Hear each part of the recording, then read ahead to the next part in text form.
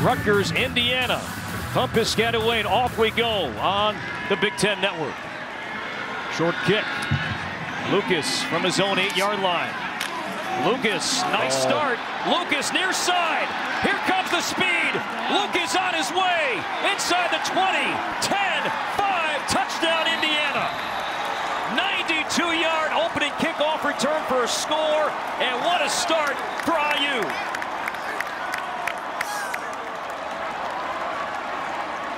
That's exactly what they're looking for right there, Cord. They have to have, they got to get points up. They need points early.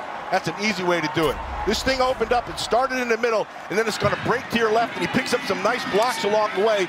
They try to get back to the outside, and there's no one there. There's the key block right there. And then he, he's got the speed to be able to handle it. Nobody's going to catch it. Now Lucas, the guy coming in in terms of kick return, average return, 26 yard, third best in the Big Ten entering the weekend, 92 for an opening score